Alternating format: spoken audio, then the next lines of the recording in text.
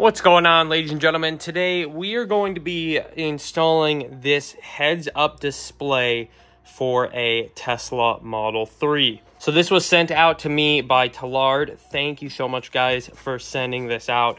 I really do appreciate it. This is actually my friend's Model 3, not mine. Um, so we're going to be installing this for him so he can view his speed without having to look over at the screen.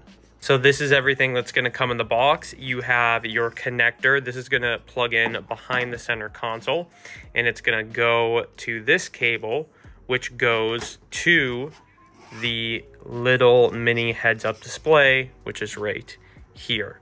So let's go ahead and get started on installing this. So first what we're going to want to do guys is head into the back seat and we're going to need just this for now and you're gonna wanna grab a trim tool and coming under here where you wanna take this cover off. Now it just simply pulls out so nothing too intense and don't worry about breaking any of the clips. These are really difficult to break. So let's try to get this open. Once we have this off, what we're gonna wanna do is unplug that and then this is going to go right into there just like this. So let's go ahead and do that. Let's unplug one side of this. There we go.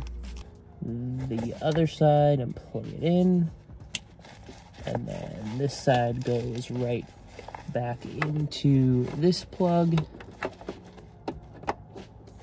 Okay, there we go, guys. So now I'm gonna route this up front. Um, what I would probably do is route it under the seat, under here, and then route it under here, under here, over and under, and right up to there. That's what I would probably do. Most of this stuff just pops off. If you're wondering, this piece just comes right up and out. Same with this piece, um, and same with that piece. Pulled off that panel and that panel right there. Those just pull right out. And then I'm just trying to figure out where it should be and it's just gonna push right into here. Something like that.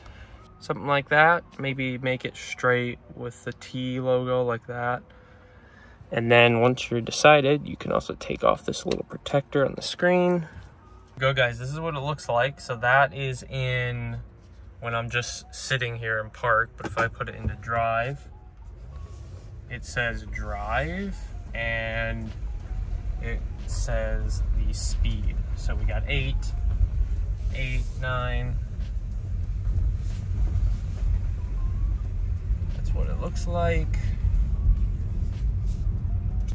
So if we go 11, 12, there we go, the drive goes away.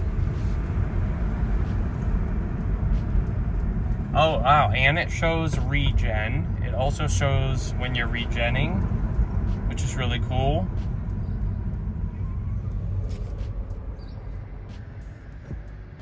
Try to get a better view for you guys right there.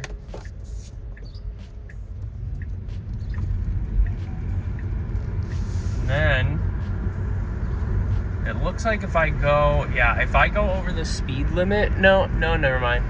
So that there's a red line below it as well when you're using like a lot of power versus regen. And I think that's about it for it.